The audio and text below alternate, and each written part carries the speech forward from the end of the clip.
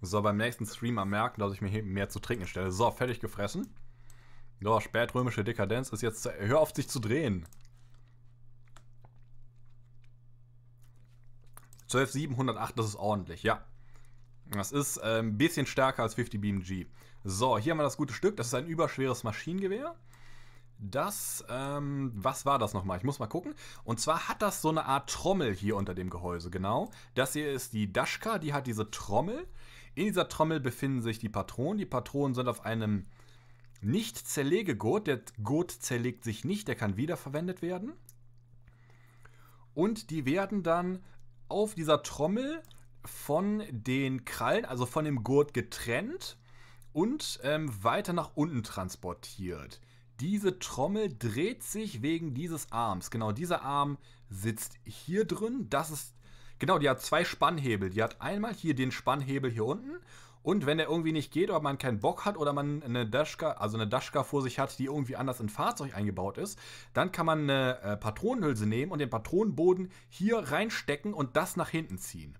Ich meine, das hier ist die Steuerung für die Trommel. Weiter unten hat man sehr viel Verschluss. Das ist übrigens eine zuschießende Waffe. Und zwar der Verschluss ist in der hintersten Position und jedes Mal, wenn er schießt, rast er nach vorne. Dieser Verschluss, der krallt sich, meine ich, hier oben eine Patrone, welche durch die Trommel bereits von, vom Gurt getrennt wurde, führt die ins Patronenlager ein, ähm, verriegelt dann über irgendwas. Übrigens ist die Dashgun ein Gasdrucklader. Das Gasdrucksystem haben wir hier. Hier haben wir das Gasdrucksystem. Das Gasdrucksystem wirkt hier drauf. Und genau hier ist die Kralle, welche die Trommel dreht. Wie war denn nochmal die Verriegelung? War das irgendwie Stützkappe? Ich muss mal gucken, ich muss mal Stücke vom Verschluss ausblenden. Ich meine, es war Stützkappe. Ja, hier sind die Stützkappen. Das sind die Stützkappen, wenn ich mich nicht irre. Das ist der Lauf. Am Ende des Laufes haben wir noch einen Mündungsfeuerdämpfer mit so einem kleinen Feuerschild. Ja, Mündungsfeuerdämpfer kommt hin. Ich, ich meine nicht, dass das ein Rückstoßverstärker ist. So, blenden wir den Lauf aus. Hier müsst, genau, hier ist die Gasentnahme. Hier ist eine Regulierung, und zwar wie die meisten schweren Maschinengewehre kann man hier auch den Gasdruck regulieren. Ich meine sogar für verschiedene Feuergeschwindigkeiten, damit je nachdem, als was man die Dashka einsetzt, kann man die Feuergeschwindigkeit hier wirklich regulieren. So, upsala. So, dann ist die Steuerung mal wieder ein bisschen abgefuckt. Dann muss ich mal gucken. Dameson, genau. Erstmal gucken, ob du nach deinem Urlaub auf den Kommentar zu gezogenen Läufen bei modernen MBTs bei Red Rising reagiert hast. Vielleicht habe ich den, vielleicht habe ich den vergessen. MBTs, die, da ist doch irgendwas mit so einer Niedrigdruckkanone, oder verwechsel ich da schon wieder? MBTs sind doch die mit den Ketten. Martin, Martin Studer, guten Abend, willkommen im Stream, freut mich, dass du dabei bist. Wir sind dabei, zu versuchen zu verstehen, wie die Dashka funktioniert. Ich habe das schon mal verstanden irgendwann. So, dann würde ich sagen, dann müssen wir noch mal vorher slow machen und feuern. Ja, das ist ein bisschen schnell. So, wieder zurück, Marsch, Marsch. Hier haben wir einen Schmett... Stopp. So, hier haben wir einen Schmetterlingsabzug. Das heißt, wenn wir den, wenn wir diese Dinger hier reindrücken, das heißt, wir packen das mit beiden Händen, also die Spatengriffe mit beiden Händen und drücken dann mit den Daumen hier drauf, dann wird irgendwo im Inneren, so, irgendwo im Inneren wird dann eine Abstützebene verlassen. Lass mich raten, das ist doch bestimmt das bist doch garantiert du hier, oder? Ja,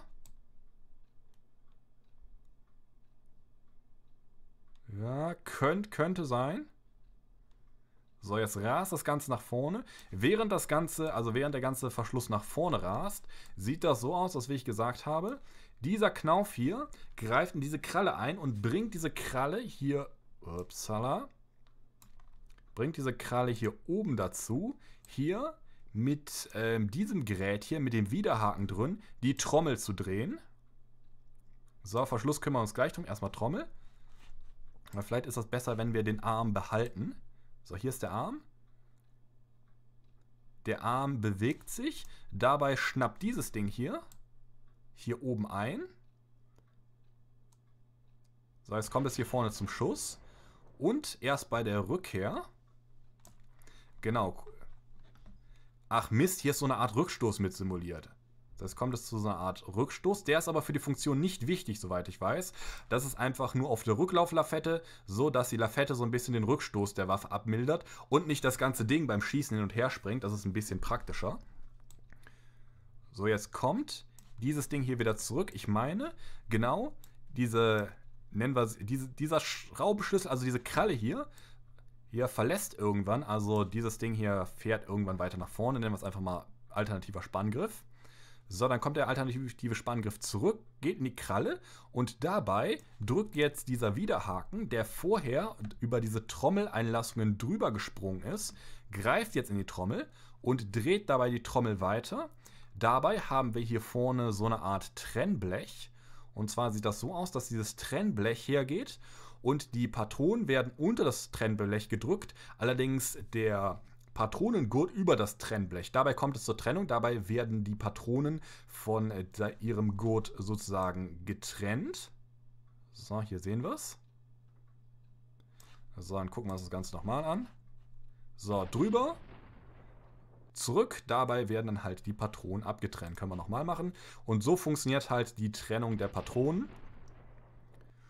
Und diese Trommel macht natürlich auch noch ein paar andere Sachen. Das Ding könnte auch mal wieder aufhören zu schießen. So, macht auch noch ein paar andere Sachen. Und zwar sorgt halt diese Trommel größtenteils für den Transport. Und zwar transportiert diese Trommel hier den Patronengurt halt hier drüber. Dann kommt es zur Trennung und unten wird dann halt auch die nächste Patrone so, wo haben wir sie? Hier ist die nächste Patrone in Zuführposition gehalten. Übrigens ist gerade äh, die Performance von dem Programm relativ mies, aber das ist jetzt nicht so ganz so schlimm. Ähm, nee, ging um Smash und Briten. Ja, Smash und Briten habe ich äh, gelesen. Die Briten haben ja immer noch diese Smash-Geschosse. Und diese Smash-Geschosse, die ähm, müssen stabilisiert werden. Und deswegen haben der indische Panzer und der britische Challenger immer noch gezogene Läufe, also gezogene Kanonenrohre. Oder so. MBT ist Main Battle Tank Hauptkampfpanzer war ähm, zu faul fürs ganze Wort. Ach so, ups, ich dachte, du meintest so eins dieser russischen Dinger, die immer die Abkürzungen haben. Die Dashka wurde auf einer Lafette bei der Infanterie der NVA bis in die 80er Jahre auch als FLA-MG benutzt. Ja, auf manchen Panzern ist das drauf. In Red Rising sind auch die Panzer, die noch eine Dashka drauf haben, immer relativ geil, weil die sich immer relativ gut gegen Infanterie und sowas verteidigen können.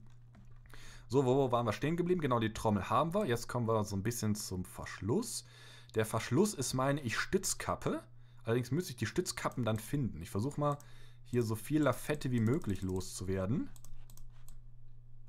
So, das ist Lafette, das ist Lafette, das sind einzelne Schrauben von der Lafette. Die besteht aber auch ganz viel Zeug. Hier ist noch so ein Rad. Ah, das Rad hat... Ah, ich kann hier jede einzelne Speicher ausblenden. Okay, versuchen mal das Ganze zu sehen. So. So, von oben. Ich meine, das ist ein Stützkappenverschluss. Und zwar sieht das Ganze, wenn ich das richtig weiß, so aus. Wir haben so ein Steuerstück. Übrigens ähnlich wie bei der MP5. Hier haben wir das Steuerstück. Das Steuerstück sieht so aus, dass unsere beiden Stützkappen, jetzt fällt es mir nämlich gerade wieder ein, hier diese zwei runden Dinger haben. Und hier haben wir das Steuerstück und dieses Steuerstück Stück möchte die ganze Zeit diese Dinger hier nach außen drücken. Das geht aber nicht, weil das Waffengehäuse im Weg ist. Erst wenn der Verschluss ganz vorne ankommt, dann befindet sich im Waffengehäuse zwei Aussparungen für diese Stützkappen. Und dann geht das Steuerstück, was das schon die ganze Zeit versucht hat, her und drückt diese Stützkappen außen in das Waffengehäuse rein und beim Schuss stützt sich halt, stützen sich halt diese Stützkappen oder Stützflügel, nennt man sie, wenn sie relativ lang werden, ins Gehäuse rein und hält dadurch die Waffe dicht. So, gucken wir uns das Ganze mal an. Ich glaube, das Ganze müssen wir sogar. Ja, oben ist ja die Trommel im Weg, das ist das Problem. Ich hoffe, dass wir das hier sehen, wenn wir hier das Trennstück ausblenden. Das ist bei Maschinengewehren immer so ein großes Problem, weil da unglaublich viel übereinander sitzt. Okay, ich glaube, das war nur der Reset, der hier gerade passiert ist. Ja, hier sehen wir es. Ich glaube, ich mache es aber gleich nochmal in Zeitlupe. Stopp, stopp, stopp, stopp, stopp.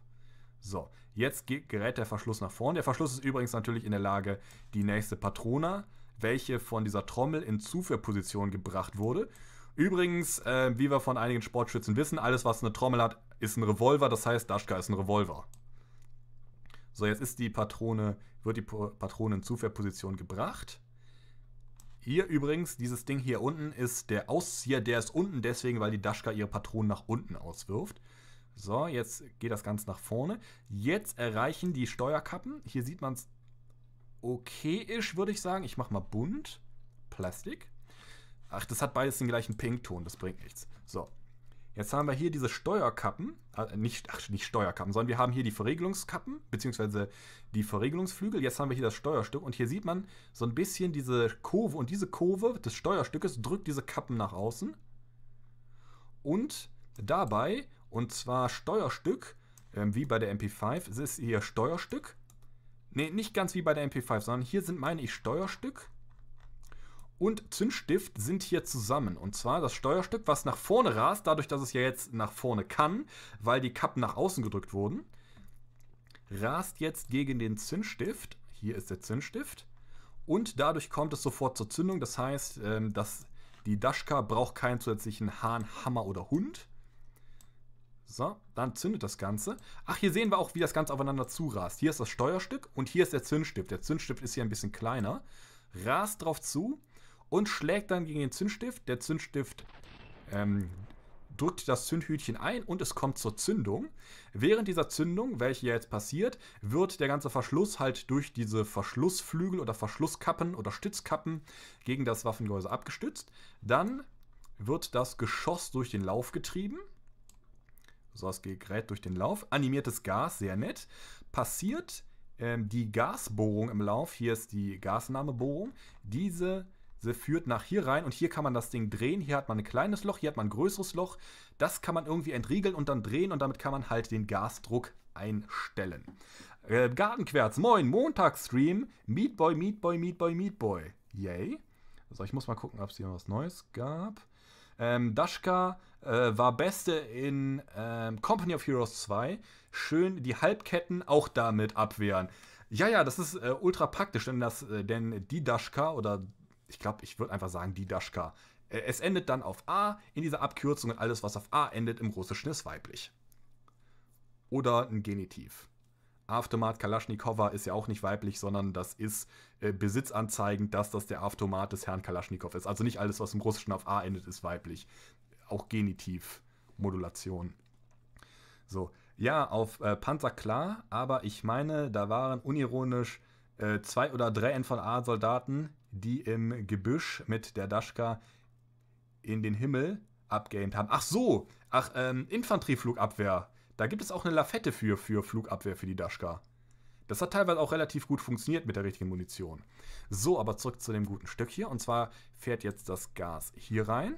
So, durch die entsprechende Bohrung. Hier sehen wir die Bohrung. Und zwar sehen wir, hier ist das groß, hier wird das kurz eng und dann wird es wieder groß. Und wir haben hier wieder so, eine, so ein Gasreservoir, welches sich erst füllen muss und dadurch wird halt auch die Feuergeschwindigkeit der Dashka bestimmt. Wie schnell kann sich diese Kammer hier füllen? Dann drückt das Gas hier auf diesen Gaskolben und der Gaskolben ist relativ lang und drückt hier irgendwo auf einen Verschlussfortsatz, oder? Ja, das Ganze drückt sofort auf den Verschluss. Hier ist so ein, upsala, habe ich allerdings ausgemerkt, hier ist so ein Verschlussfortsatz noch. Und das Ganze drückt dann halt auf den Verschluss. Und der Verschluss zwingt dann. Genau, der Verschluss zieht jetzt an dem Steuerstück, und zwar das Steuerstück, was erst die Kappen reingedrückt hat, wird jetzt weggezogen und zieht damit die Kappen indirekt auch wieder herein. So, Entriegelung. Das Ganze bewegt sich erst dahin. Es ist immer noch verriegelt, immer noch verriegelt, immer noch verriegelt. Es wird sehr lange verriegelt gehalten, dieser Verschluss, weil das Ganze natürlich auch diese ungemeine Pulverlänge, die so eine 108 mm lange Patrone überhaupt halten kann, natürlich geschlossen zu halten. Jetzt kommt es wieder zur Verriegelung der Stützkappen, was man ja, so lala sehen kann. Hier ist diese Einlasskurve. Jetzt kommt es wieder zur Entriegelung. Das Ganze gleitet nach hinten. Allerdings gleitet das hier ein bisschen weiter nach hinten, weil das hier eine Rücklauflafette ist, die so ein bisschen Rückstoß wegnimmt. Gleitet nach hinten. Beim nach hinten gleiten so, wo haben wir es? Hier haben wir wieder unseren Löffel, beziehungsweise unsere Kralle, habe ich sie ja genannt. So, wo haben wir denn? Wo ist die, wo ist die Kralle? Ich glaube, die habe ich, hab ich ein bisschen sehr früh ausgeblendet. Wo ist die Kralle? Achso, jetzt habe ich versucht, hier die ganze Lafette auszublenden. Ah, genau, hier ist die Kralle. Beim Rücklauf geht wieder dieses Ding hierher, beziehungsweise, genau, geht dieses Ding her, kommt in die Kralle, und bringt die Kralle oben dazu, beziehungsweise diesen Krallenfortsatz hier oben dazu, wieder an der Trommel zu drehen, worauf dann, dann wieder eine Patrone, also ein paar Patronen werden zugeführt, eine Patrone wird vom Gurt getrennt und eine andere Patrone wird zugeführt. Allerdings wird die Patrone, welche wir hier haben, Upsala. Entschuldigung, Rübser raus. Ach, kann ich ja gar nicht, ist ja Livestream. Kann ja keine Rübser rausschneiden. Hier, die Patrone wurde währenddessen vom Auszieher gepackt und äh, wird hier oben vom Ausstoß. Und zwar haben wir diesmal keinen typisch russischen Ausstoßer, der irgendwie im Gehäuse ist oder den es gar nicht gibt oder der kombiniert ist, sondern wir haben hier wirklich einen hochoffiziellen Ausstoßer als eigenes Element, sogar mit einer, jetzt zeige ich den Zündstift aus, sogar mit einer eigenen Feder. Und der wird irgendwann hergehen und sobald halt die Hülse das kann, wird die Hülse halt von dem Ausstoßer, welcher unter Federspannung steht, nach unten gedrückt und fällt dann durch die Schwerkraft einfach nach unten raus. Gerät noch über so ein Abprallblech, welches hier, welches hier teilweise, also welches hier wahrscheinlich Teil der Lafette ist, denn verschiedene ähm, Anwendungen von solchen MGs, die brauchen natürlich auch verschiedene Hülsenauswürfe. Und zwar ist das teilweise ich meine, wenn man eine Daschka oben auf dem Panzer hat, ist da auch so eine Art Schacht dran, sodass die Patronen nicht in den Panzer fallen, sondern ähm, einfach über den Turm rollen und dann irgendwo auf den Boden fallen. Es wäre ja doof, wenn sich äh, durch ein MG einen Panzer die ganze Zeit mit Patronenhülsen füllen würde. So, ähm. Die erste Version des C55 kann man daran erkennen, dass er kein ähm, Flugabwehr-MG hat, weil man der Meinung war, gegen Jets mit äh, Strahltriebwerk kann man eh nichts ausrichten. Und dann kamen Hubschrauber und dann gab es wieder Flugabwehr-MGs, wenn ich das richtig verstanden habe irgendwann.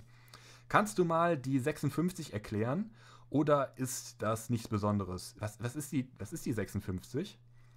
Ähm, ha, ähm, ähm, hast du einen äh, festen Ablauf oder kannst du vielleicht später. Ja, ich nehme Wünsche entgegen.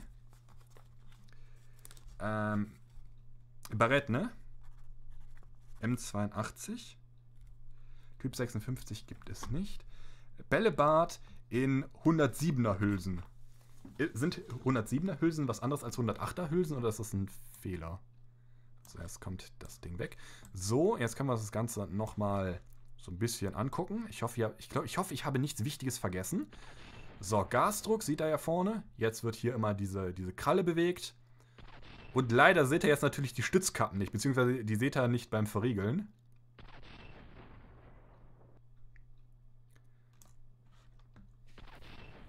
So, ich muss mal gucken. Ah, ich kann das sogar in den AA-Mode in den AA-Mode bringen. So, mach mal ein bisschen hier so ein bisschen schneller. So, Safety. Ja, Safe. Ja, man hat hier so ein Leitervisier. Ich glaube, das geht bis unglaublich weit. Ich glaube, es ging bis 5 Kilometer oder so. Fold Rear Side. Das kann man noch anklappen, braucht man jetzt nicht. AA-Mode. Genau, man kann diese Lafette hier in den Flugabwehrmodus verfrachten. Und zwar kann man genau Räder weg und dann ist das ein Dreibein. Das wird sich wahrscheinlich gleich nach unten wegklappen. Genau, das ist der Flug. Genau, da kommt jetzt noch so ein Geschirr hin. Genau, das tut man sich über die Schultern, dann packt man das. Und man kann auch das Schild wegmachen, weil das Schild, das brachte da irgendwann auch nichts mehr. Reload. Kann ich hier irgendwie die per Hand nachladen? Also durchladen? Scheinbar nicht. FN57. So. Ja, okay, vertippt. Ja, kein Problem. Äh, kannst du mit JPSK was an? Ach, richtet sich auch gar nicht an mich. So, äh, äh, Typ 56 steht hier drauf. Aber Typ 56 ist ja einfach nur eine AK-47, also ähm, funktioniert jetzt auch nicht groß anders als eine AK-47. Die hat ein großes Video. Das SKS hat ein eigenes Video, wie ich meine. Dann wäre M82 dran. So,